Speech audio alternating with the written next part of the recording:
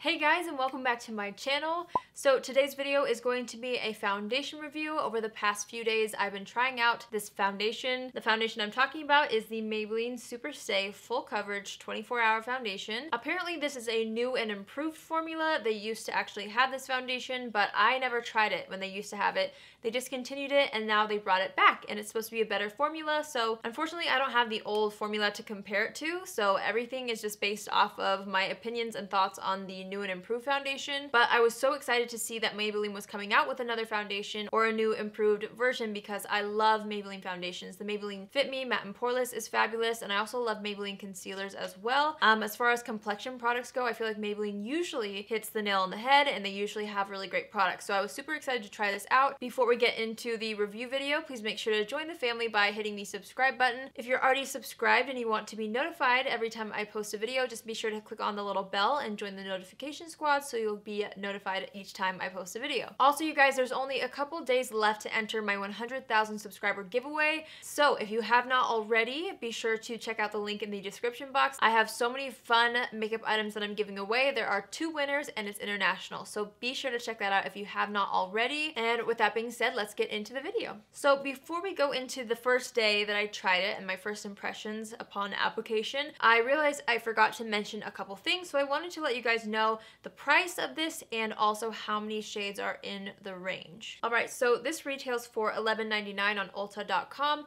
I picked mine up on Amazon for about $10, so I guess it just depends on what retailer you go to, but it's around 10 to $12 and it looks like it comes in 16 shades. The shade that I picked up is 112 Natural Ivory. So I just wanted to mention those couple things and now we will move into my first day with this product and my first impressions upon application and then I will show you guys the before and afters over a couple of days and then I will have my final thoughts at the end of the video. So let's get into it. This literally just came in the mail like an hour ago. I ordered it on Amazon so it came in two days thanks to Prime. I love Amazon Prime time. By the way, if you hear something in the background, I am doing laundry. Today is a super chill day. I'm in my black t-shirt, my hair's up. I'm just trying to catch up on some chores and clean up a little bit. So please excuse the outfit and the hair. it's just one of those days, but I thought I might as well make use of the day and do a foundation review, especially since this arrived. I'm so excited. I'm going to be trying out the Maybelline Super Stay Full Coverage Foundation. This is supposed to last up to 24 hours. There's one fluid ounce in here. The shade that I got was 112 Natural Ivory. I ordered it on Amazon again, so I hope that this matches me. It seemed like it was going to be a good match. So let me just read you some of the things that it claims to do. So it's a full coverage foundation, up to 24 hours of wear, a seamless matte finish. It's breathable and comfortable. It's fade and transfer resistant. Hmm. It's oil free and oil free.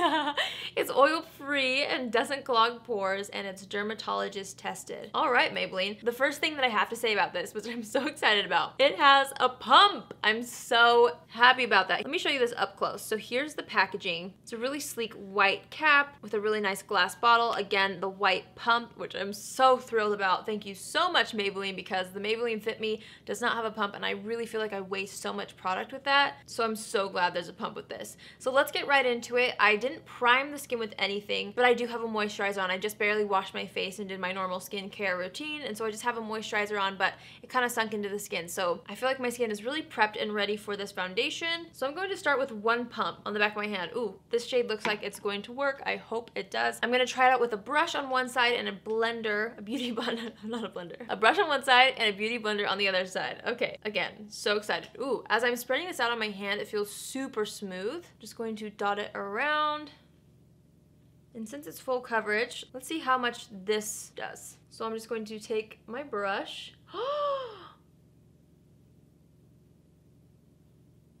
okay, it's starting to blend out like butter.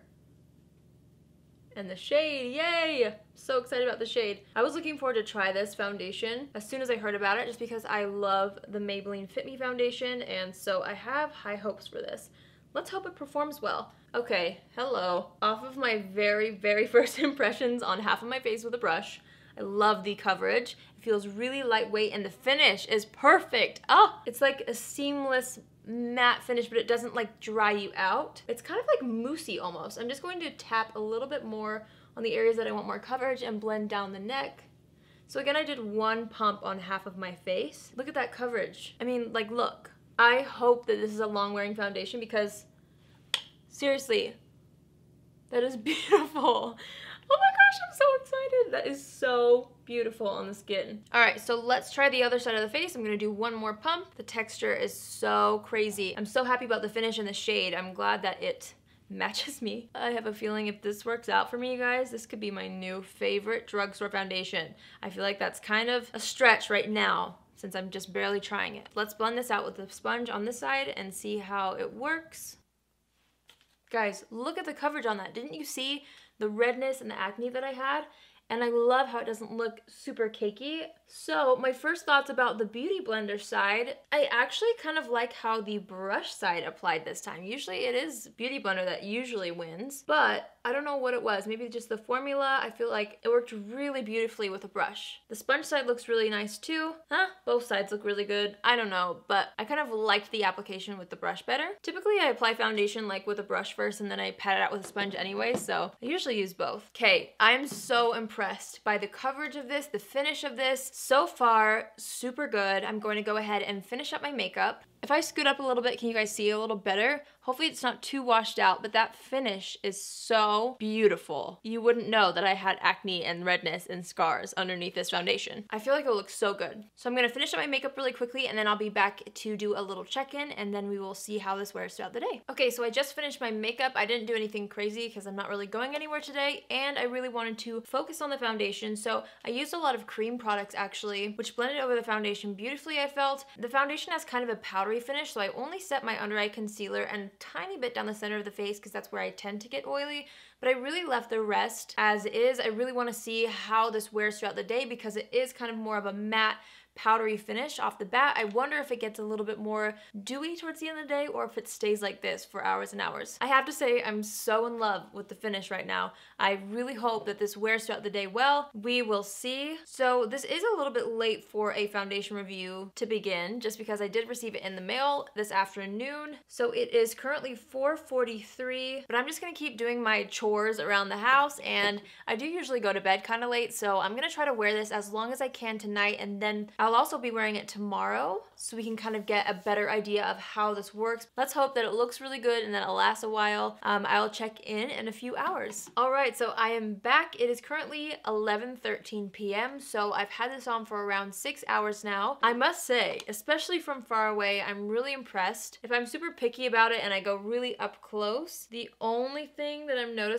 is it's getting a little bit of a sheen on the forehead, like but not like oily, just a really nice glowy sheen. And then my pores are a tiny bit accentuated right around my nose area here, which could probably be fixed with like a good primer or a pore filling primer. I'm so impressed at how it stayed on the side of my face because a lot of times throughout the day I touch my face and that's where I have the most redness and acne scarring. And so the fact that there's still coverage, like full coverage there is really impressive. But yeah, if I'm not being nitpicky and I'm just looking far away, I have a really nice natural sheen to my face and I really, really like the finish still. One thing that I've noticed that I'm really impressed by as well is around the nose area. A lot of times, a lot of foundations look really weird by the end of the day around my nose. And this one, like, it doesn't look as fresh as it did when I first applied it, obviously, but it doesn't look crepey and it didn't crease. Also around my smile line, I have one smile line right here that creases pretty bad and it's like not even bad at all compared to a lot of foundations that I love and wear. So, so far so good you guys. As always, I love to wear these foundations that I try out for you guys for a few days. So I'm going to be wearing it again tomorrow and the next day and as many days as possible until I post this video. So I have a really good accurate review for you. So that's the first day. That's my first impressions. I'm going to try it a little bit different tomorrow and I'll let you guys know. But yeah, so far so good. I have really high hopes for this foundation and the fact that it's drugstore makes it that much better. So I will see you all tomorrow for another check-in. Alright you guys, it is day two of me trying out this foundation. It's another like laid back, running errands type of day. This time I set the entire face with translucent powder, but I didn't use a primer, I just used moisturizer. So I'm gonna do another check-in today. It is currently 1:48. I'm gonna be running errands, I'm gonna go to the grocery store and stuff like that. So I'm gonna try to wear this as long as possible again and then check in with you guys and see what setting the entire face will do by the end of the day. So I will see you later. I already started filming and I realized my mic was off, so that would have been bad. Okay. All right, so I'm I'm back. All right, so it's 8:25. 8:25. I haven't even looked at my face all day long. Um, my nose, there's some foundation missing because I made a spicy soup tonight and every time I eat spicy food, I love spicy food, but like it makes my nose run, so I was I wiped my nose. Anyway, let's take a look at the foundation. Um, I'm kind of seeing the same thing that I saw yesterday. There's a really nice sheen it doesn't look very oily. I mean, I'm kind my forehead kind of looks a little bit oily and today again I powdered the entire face, but I honestly I haven't touched up all day. I ran errands and this is what it looks like. I don't mind it. I feel like it'd be really easy to touch up. The thing I do like about it that I've noticed the past couple of days of wearing it is even though it does kind of develop a dewy finish, it doesn't ever separate on my skin, um, which sometimes if that happens throughout the day, if my skin gets a little oily, sometimes it causes the foundation to break up. So I do like that it doesn't do that and it would be easy just to kind of take a, a blotting sheet or some powder and just kind of dust over the T-zone or wherever you get oily. I don't mind it getting dewy on the outer parts of the face. I think that's really beautiful, but usually like this area, this area, I don't love for it to be shiny. But I mean, this is a good, what, six hours of wear? So I think that's pretty good. Nothing's really come off my skin except for around my nose where I touched it, but I do already notice and really appreciate that about the foundation. So that is the situation for today. It's kind of funny. I wonder if because it's marketed as a matte foundation and because at the beginning of the day it kind of does feel really matte and really tight, I wonder if on my skin, my skin kind of like overproduces oil because it is trying to mattify. That could just be my skin type.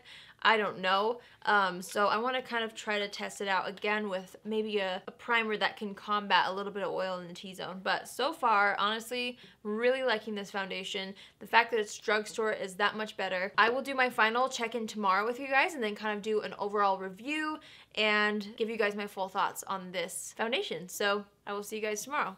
Alright you guys, so I've had the chance to wear this for several days now and I think I'm ready to give a final review. So, honestly, I really do like this foundation. The fact that it's drugstore makes it that much better. I will say it looks so flawless upon application. It is what I'm wearing right now. The coverage is incredible. If you're into full coverage foundations, I would recommend grabbing this. The only thing that I'm unsure of is if you have dry skin, um, just because some of the areas, if I do have a little bit of dryness, it kind of clings but my skin is not that dry right now, so I really am not able to give a full review as far as dry skin is concerned. That's the only unfortunate thing about doing foundation reviews sometimes is I can only give feedback based off of my skin type um, which is normal combination. So sometimes I do have dry patches. Right now I don't really have too many, so I can't really tell you. And then also, like I mentioned, I think earlier, for some reason by the end of the day, this foundation looks a little bit dewy on me. And since it's supposed to be a super matte full coverage foundation that kind of like threw me off. It's not dewy in a bad way. Um, and sometimes on my skin, if I use products that are too mattifying, it actually can increase the oil production in my skin because my skin feels so dry and it's like trying to hydrate or rehydrate itself. So I found that with some products that are super mattifying that that does happen. And so that may be what's happening with me. I don't know though. If somebody has oily skin and you've tried this new and improved version of this foundation, would you please leave a comment down below and let me know if that happens to you on oily skin or if it really does help control the oils because it ends up looking dewy by the end of the day. It didn't look oily though, I guess. I should say that. So it didn't look greasy, it just looked dewy, which I personally don't mind on my skin type, but it was kind of surprising just because when you first apply it, it kind of feels powdery and a little bit heavy and a little bit tight on the skin, at least for me. And then by the end of the day, it was just kind of like more dewy and radiant and kind of had a different finish than when I started. So that's what I've noticed as far as the finish goes. As far as like the wear time, I have not seen it fade away and that's one thing I really do love about this foundation is because a lot of times, especially around like my chin area where I do have blemishes and acne scarring, some foundations by the end of the day can wear off there because um, I do kind of rest my hands on my face. I touch my face a little bit. Um, and this did say it was transfer resistant, which I didn't actually test. Should I test that? Let's take my shirt. Hey! Guys. I'm not like wiping but if you just lean up against something, it didn't come off of my black shirt. So I think it is transfer resistant. That was a fun little test. But um, what was I saying? Oh, a lot of other foundations tend to kind of fade away around my acne scars and this one really didn't. I found that it had full coverage throughout the entire time that I was wearing it, so I really did like that. The only time that it broke up was a little bit around my nose, but overall, I really do like the finish of it. Again, though, I am a super duper fan of full coverage foundations, especially full coverage matte foundations or semi-matte foundations. So if you are too, I would recommend picking this up. Again, that is just based off of my skin type. I'm curious to see what you guys think about it. If you do try it out, please let me know. But I do think I will continue to wear this and keep trying it out in different tutorials and keep trying it out with primers and things. I didn't really notice too too much of a difference when I used different kinds of primers as far as how it wore and as far as like how it looked at the end of the day. I will say when I set my entire face, it looked a little bit less dewy than it did when I didn't do that, but it still like looks dewy whether I powder the entire face or whether I don't do that. So those are my thoughts as far as priming and setting goes. So in a nutshell, I would recommend this foundation. I'm not sure if I would recommend it to people with extremely dry skin, um, just because it is a little bit more of a mattifying, powdery finish foundation, which could accentuate some dry patches. If you do have some, I would recommend it. It's drugstore, it's $12 or less, and it's worth a shot. So that's everything in a nutshell. I really do like this foundation on a scale of 1 to 10. I think I would put it at a 7.5 maybe maybe seven and a half to eight just because it does change finishes on me. So that does mean that I would have to kind of powder the T-zone if I wore it all throughout the day to kind of control the oils in that section. But other than that, I feel like I can really trust it to last all day, which I really do like. So seven and a half slash eight stars out of 10. That's how I feel. And it's a great price. So thanks again for watching, you guys. Please, as always, be sure to leave a comment down below letting me know your thoughts on this foundation if you've tried it. Also, if you guys have any recommendations for me to try, like other foundations for me to try out and review, please comment those down below because I love to test out foundations so much. It's one of my favorite things to do. Don't forget to enter my 100,000 subscriber giveaway if you haven't already because it's almost over so you don't want to miss out. I think that's everything. I will see you all in my next video. Love you. Bye!